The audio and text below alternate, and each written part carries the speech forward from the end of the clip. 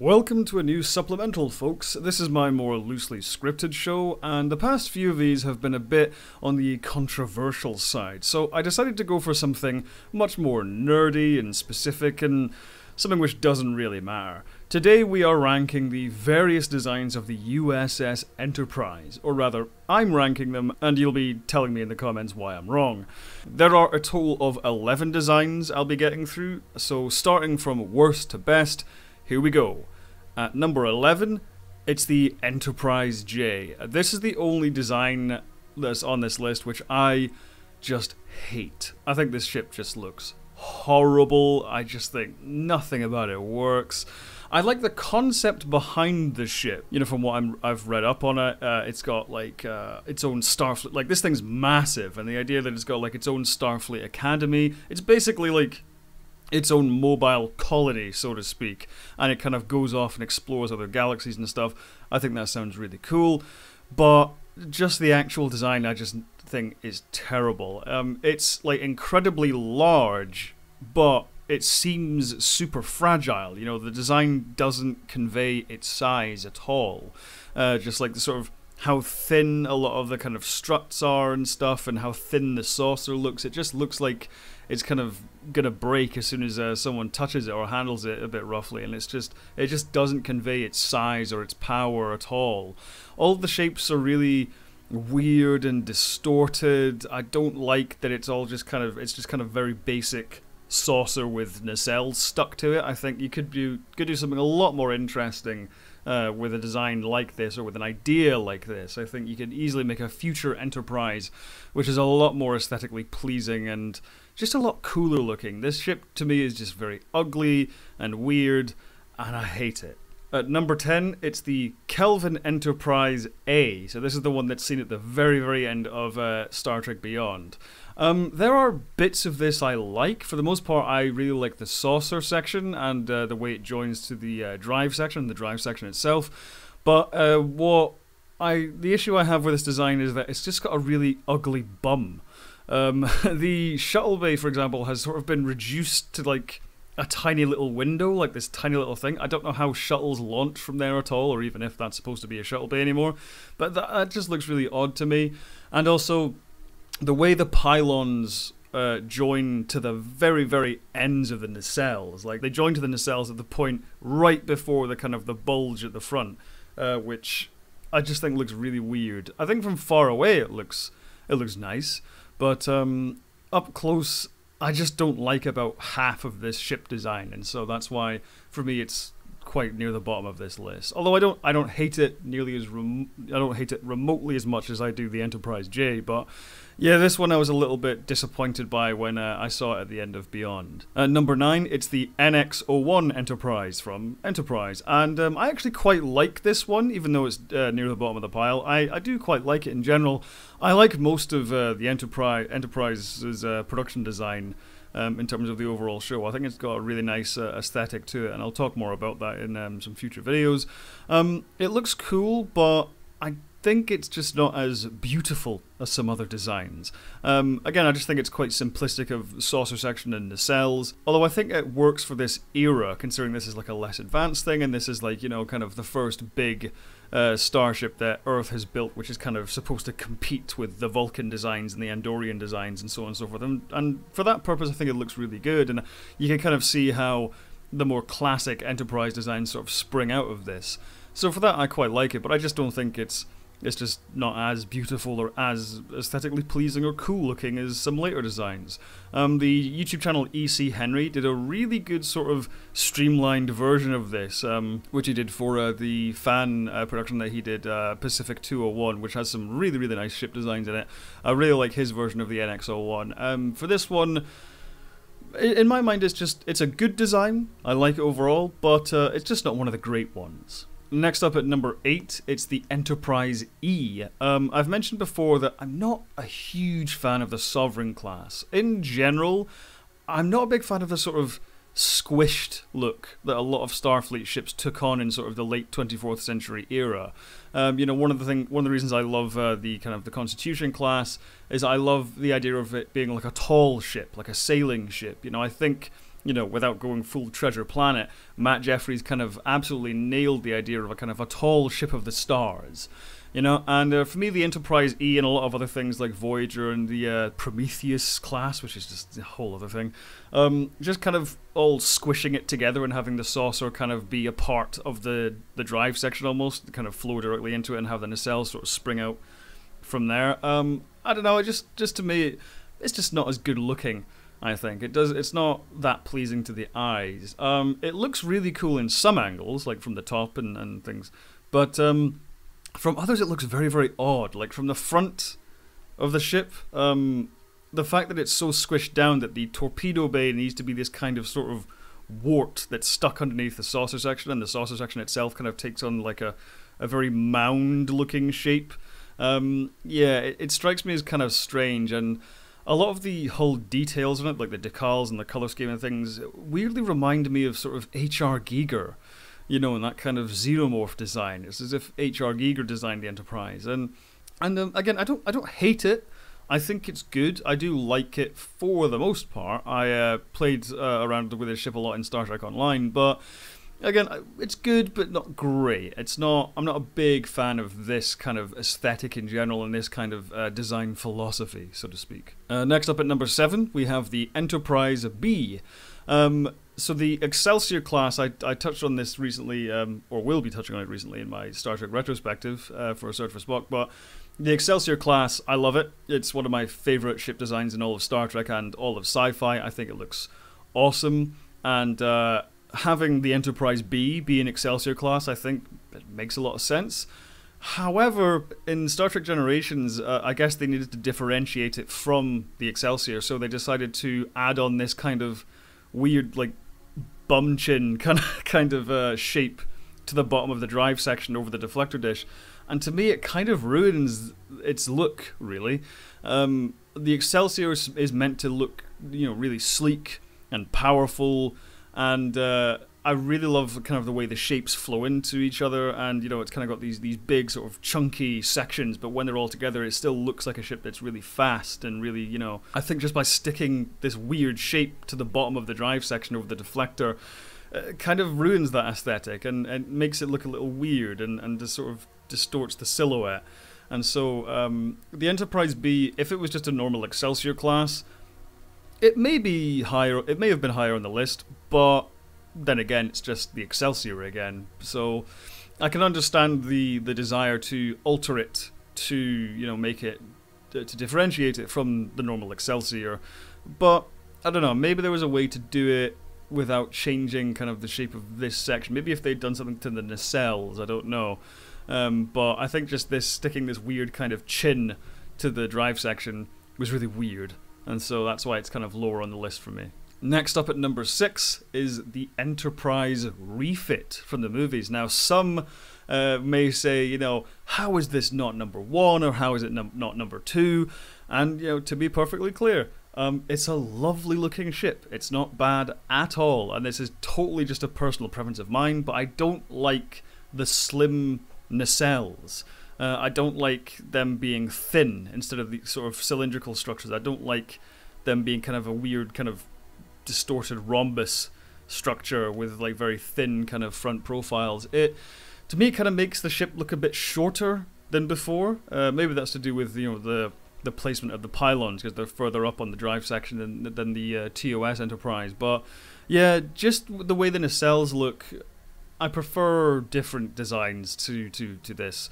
Um, as I said, this ship looks gorgeous in most shots, but when you get to like a front view of it, the nacelles, because they're so thin, um, they just sort of look like two bricks which have been placed on the saucer section. It looks really odd, um, and I think it's there's a much more aesthetically pleasing design. Uh, I think the TOS design with the more rounded nacelles is a much more aesthetically pleasing um, design. So that's why I'm afraid the refit I place uh, sort of in the middle of the list rather than uh, near the top. And uh, that kind of carries us naturally into number five, which is the TOS Enterprise. And again, uh, some people may immediately say, wait, how is it not higher? And um, yeah, as I said, the reason I uh, prefer this one over the movie refit is because I just prefer the, the rounded nacelles. To me, it just kind of balances the overall profile of the ship. It gives it a better profile. Um, the only reason this is lower on the list is because um, it's just not that high fidelity anymore. You know, like a lot of things in the original series, um, it's just aged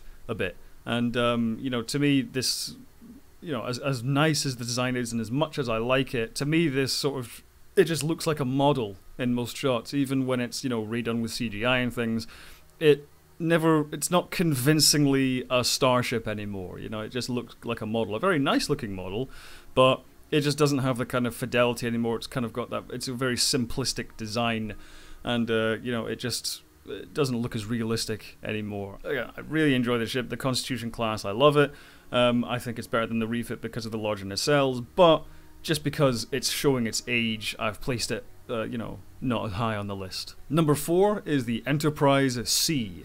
Um, I really like the ambassador class, and I wish we saw it more. You know, of course, we saw it in um, yesterday's Enterprise, and I think it appears briefly in like Redemption Part Two and some other little, odd shots of the Next Generation. But you know, I think it's the perfect bridge between the uh, 23rd century era and the TNG uh, 24th century era ships. Um, it's got like the Galaxy class is kind of like look to it. It's, it's the aesthetic. You know, it's got the kind of lo- loads of windows and panels and you know all that, that that rich detail on the hull, which is really nice. And it's got a kind of a much a similar kind of silhouette to the Galaxy class, but it's just it has it retains the shapes of the Constitution class. You know, the saucer section looks very much like um, the Constitution class, and so does the drive section with the big rounded deflector. And uh, I just think it's a really, really smart design. And for a ship which, you know, for all the model makers knew was only ever going to appear in yesterday's Enterprise, you know, and was mostly used for kind of just the odd ship if they needed it. Um, I think it, it was just it's just such a great design, and you know, thematically as well with that uh, specific story of yesterday's Enterprise is uh, just the perfect kind of image to evoke you know the story and the themes uh, of of of yesterday's enterprise and, and where it comes from and, and what its function is in that story. I think it's just a really really nice design, and um, I'm sad we didn't see more of it, frankly, because you know in Deep Space Nine when we get to the Dominion War, there are heaps of like Excelsior classes and Miranda classes being used well into the 24th century, and you know I'd, I would have loved to see some more Ambassador class ships show up because even though you know the Galaxy class kind of supplanted it. Um, I don't think that's any reason not to keep using the ambassador class. You know, it's still a powerful ship, and yeah, I would have just I would have loved to see more of it. And number three, it's the Kelvin Timeline Enterprise, and uh, I know I said I didn't want to be controversial. I know some people hate this ship, but I love it. I really do. Um, the goal of this design, you know, I was reading up on it, uh, was to really merge the uh, the original series Enterprise with the refit design, and I think they really did that perfectly. Um, the hull, kind of the, the overall color of it, and the hull details and things are really really close to the the refit design from like the motion picture and so on, but its overall silhouette is much closer to the original series Enterprise. You know. Um, with the bigger nacelles, which of course I, I said before that I liked. Um, I like how the different sections of it, you know, the different modules like the drive section, the saucer section, the nacelles and kind of things, they sort of flow into each other more rather than just kind of looking like they're they're bolted together. They look like they kind of really. It looks kind of aerodynamic. I know J.J. Abrams, uh, you know, asked the designers to sort of think of the Enterprise if it was a hot rod, and I, I totally see this, and it's it has a lot of uh, power to it and a lot of beauty. I just I just really like the way all the shapes flow together. You know, I do have some quibbles with it. Um, I think the neck joins to the drive section a little bit too far back, but that might be because you know the deflector dish is a dish which is kind of sitting on the end of the uh, drive section rather than being integrated into it. But again, that's kind of a from the TOS era Enterprise. Um, so I have those quibbles with it, and yeah, the nacelles are a little bit over designed. As I said, I do like bigger, chunkier nacelles, but they are a bit odd looking in, in some angles. You know, some of the uh, the shapes in it kind of kind of jut out and bulge out in weird places. But um, overall, I think this is a, just a really really sleek looking, really advanced ship. I know some people sort of refer to this and um, the bridge design as sort of like the Apple Store Enterprise, and I totally see that.